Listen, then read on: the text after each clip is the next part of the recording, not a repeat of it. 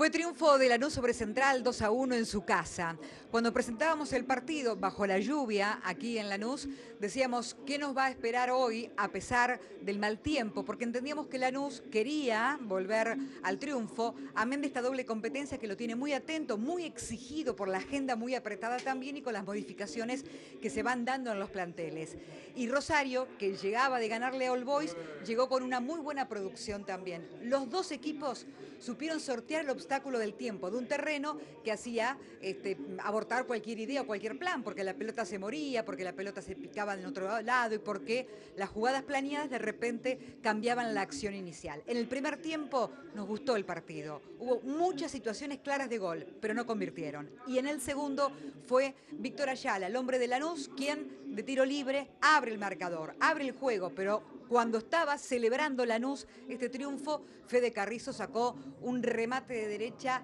tremendo, soberbio, al ángulo, ideal para verlo y una otra vez para el empate. Pero poco le duró esa alegría central porque después fue Lanús y con Izquierdos, con la cabeza de Izquierdos, quien puso la alegría y granate, quien lo eleva en la tabla de posiciones y quien lo mantiene expectante en la Copa y en el torneo final la, el sinsabor para la gente del equipo de Miguel Russo, que trabajó muchísimo, de mínima para el empate, y pudo haber sido, pero se vuelve a Rosario sin nada.